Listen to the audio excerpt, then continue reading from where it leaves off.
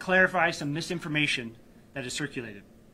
Myself and all the members of the Washoe County Sheriff's Office family and first responders send our thoughts and prayers to Mr. Renner, his family, and friends, and we share our sincere hope for a full and speedy recovery.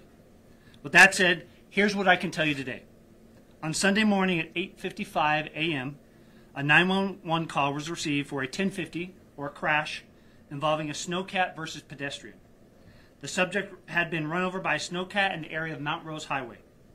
At 8:57, Washoe County Dispatch advised some units and they started en route. Here's where I want to elaborate on the weather and the road conditions at that hour.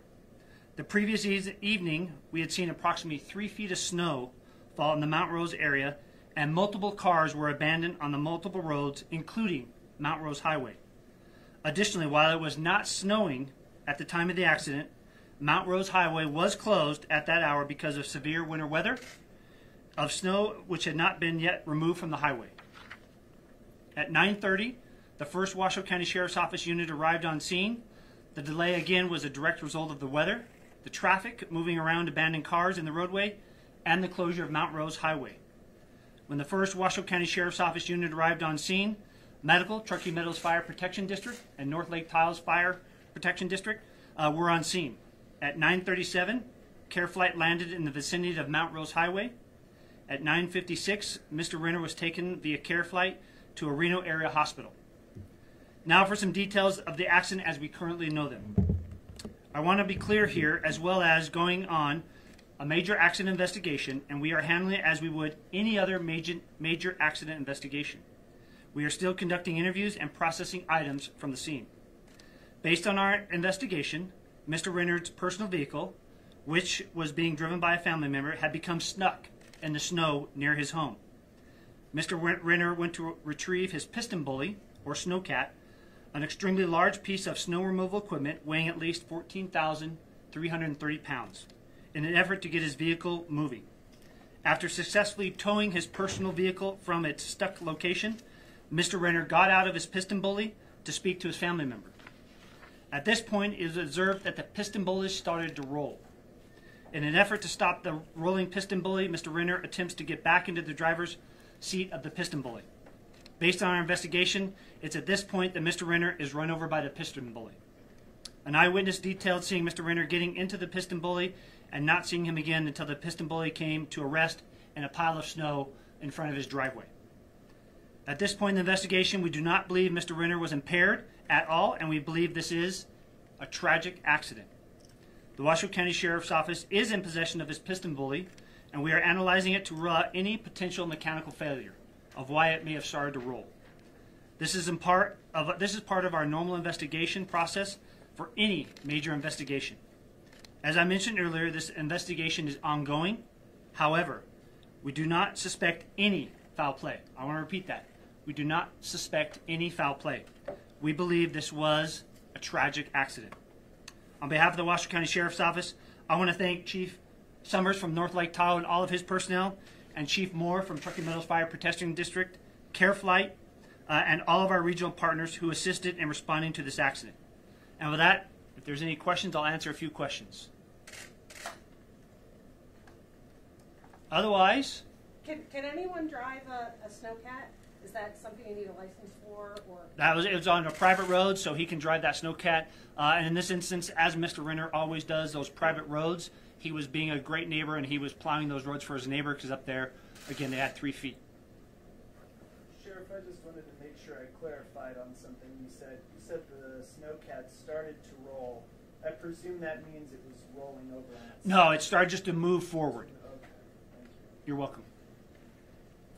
Do you have any more details on his injuries? Uh, for that, we're going to refer to the family. I believe they made a statement earlier today um, on his uh, well-being. And again, all we want to say from all of us here as first responders, uh, we are keeping him and his family and friends in our thoughts and prayers. So you're, it- you're looking at the, the plow thing to see if it had a mechanical issue? Was it, was it run, it was still running? You don't know if it was, like, does that device have a park?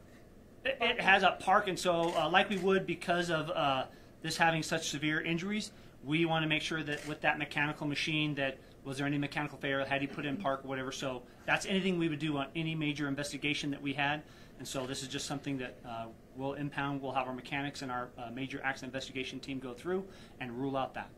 Was medical, did anyone here up, or any of the officers who responded, provide any kind of medical treatment uh, when you arrived? You know, I would say they all did. Um, and uh, after uh, Mr. Renner was run over by the PistenBully, there was some uh, neighbors that also brought out some towels to help. So, you know, I want to thank them as well for their quick response in helping Mr. Renner while all of us first responders were responding. But uh, first aid was rendered to him. Was it hard for the, the helicopter to land, given the conditions? It, it was, and that's why it took them a little bit. As I know, there's a video already out there on social media. Um, just because of the weather, all of the snow that we had just gotten, it, they had to find a safe landing zone for it. There was an early report that uh, a neighbour who's a doctor, a medical doctor, um, administered a gave a tourniquet. Um, is that correct? Uh, what I can tell you was uh, there was no doctor on scene. It was some good neighbors of Mr. Renner's that came out with some towels and rendered some aid. And that's what I can say. And did they did they tie a tourniquet? That part I do not know. I just know that they came out with some towels and helped them until uh, all of the first responders could get there. Do you know how much snow there was up there at the time? There was about three feet that we had just received on top of whatever else they had received prior to this big snowstorm, but three feet of fresh snow. Did that complicate the rescue? It did because Mount Rose was closed, uh, and as you may have uh, noticed uh, during that time, we had about 13 to 20 cars that were abandoned from the bottom of Mount Rose all the way to the top. So trying to get them and get around um, for the fire engines, the ambulances. That's why, again, for fire, they collaborated from both sides of the Mount Rose Highway and came together to help. I just wanted to clarify, you said he was trying to get back into the snowplow. Was he able to get back in and then was thrown out, or he just? That part we don't know. Uh, we're waiting to talk to Mr. Renner. What sort of condition was he in when you guys arrived? Did he, was he was speaking to the first responders. And I've seen it reported that he suffered chest wounds and some, some orthopedic injuries. Can you comment on whether or not That part I don't know. I'd have to refer you to the family and let them answer those or the hospital. Do you have any details on how common an accident with a snowcat is?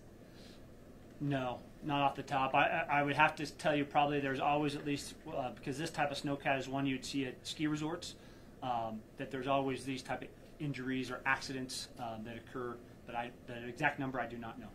So it was on his property, not on Mount Rose Highway, It was on a private road. on a private road, and then the neighbors that he helps dig out are all part of that private road? They're all on a A private road. private road, so they, he never has to go on to public. No. And approximately how far from the summit, roughly, would that be? A couple miles. Who called nine-one-one? Uh, I, that one I don't know if it was the neighbors or his family member.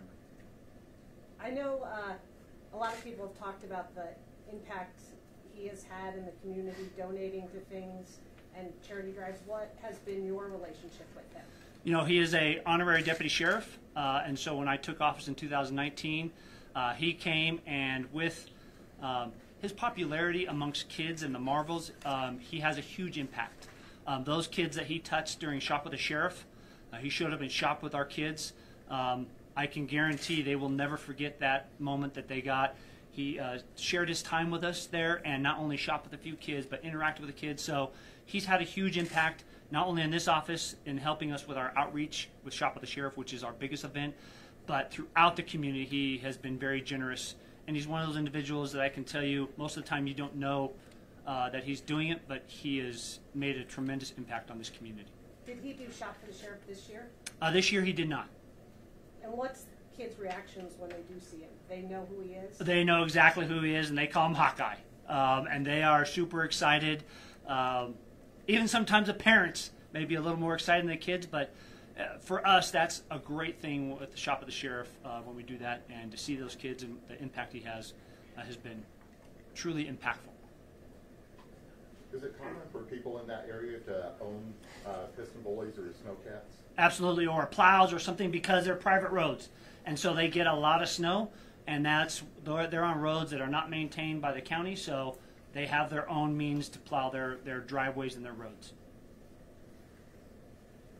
Okay, with that, I want to say thank you again for coming. Uh, I appreciate you taking the time, and again, our thoughts and prayers are Mr. Renner and a speedy recovery. Thank you very much. Thanks, everybody. One more